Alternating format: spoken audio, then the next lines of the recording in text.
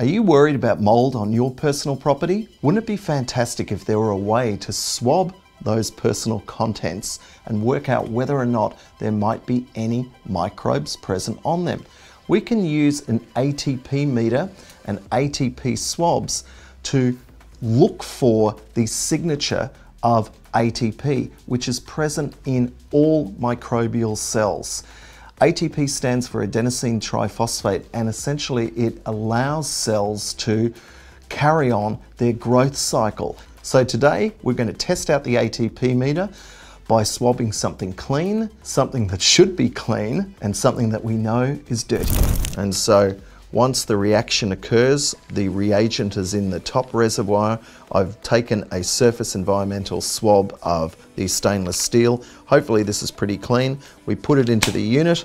Anything under 45 relative light units is considered clean. We'll see what the stainless steel shows. So it's not as clean as I'd hoped. Let's see what the used towel and the freshly laundered towel show. And this should be less contaminated. Now that's come in at 14, that's a great result. That's what you would expect for freshly laundered textiles. Now, this is the used towel. This has been used for approximately five days.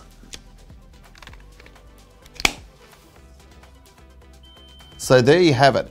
Our ATP meter has been able to rank these three items from not so clean to definitely contaminated.